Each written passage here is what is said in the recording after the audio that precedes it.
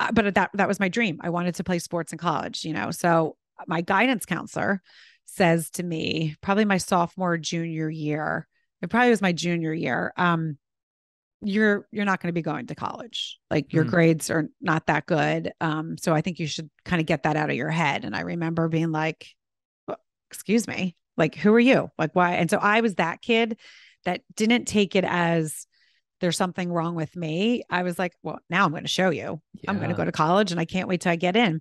Um, I was being recruited. I got letters from Harvard. Um, I mean, it was crazy. But then, you know, you have to ch- send your transcript in. And I was like, I'm not sending my transcript to Harvard. They're going to be like, something happens here.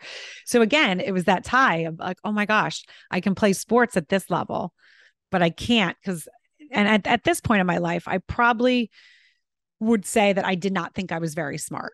Yeah. You know, we all have our strengths and weaknesses. I didn't look at like that I learned different. I just learned uh, like I kind of thought, okay, you're really not that smart. You're smart in some things, like street smarts. You could send me to New York City. I could figure it out how to get home. I could talk to people like no one else.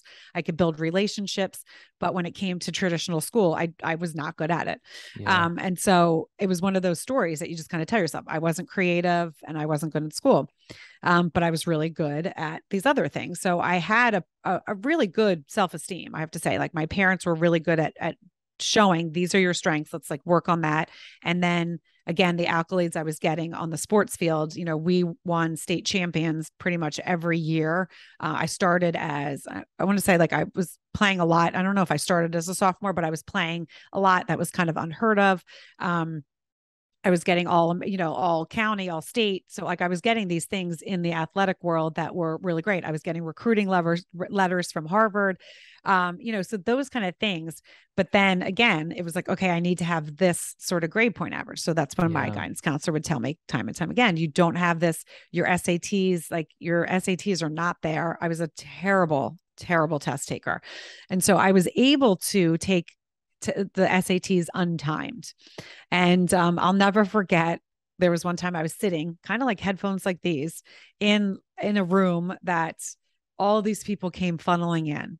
And they're like what are you doing? I was like taking the SATs they're reading it to me. I'm trying to get I had to get a certain score to be able to go division 1 because at yeah. this time University of Maryland was recruiting me for lacrosse.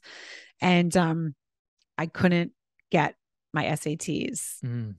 to that store. I probably took it, and I'm going to exaggerate here, but I felt like I took it 33 times, mm. and it constantly was just shy of that that score, or it was like way under. And it was like the first time I took it, I did the best, and then every time it just kept getting worse and worse. So when it was untimed, I would change my question. You know, it just when it was read to me, I got distracted. It just it was a bit of a show. I mean, really, that's kind of what it was. Um, and I'll never forget where it was like, okay, you're, you're not going to go to New University of Maryland. And I was, I had to change my tune because I knew I still wanted to go to school. So I ended up going to, um, it's called Rowan University. It used to be mm-hmm. Glassboro State. Funny enough, my mom went there. It was in New Jersey, Division three, and I had a great I, I, mean, I really had such a great time in college, and it was really one of those things. And this is where stories and kind of situations happen would I have stayed in school if I went to Univers- University of Maryland? Um, I don't know. I don't know that I would have persevered and stayed because I know my first year, I was like, what am I doing? This is insane.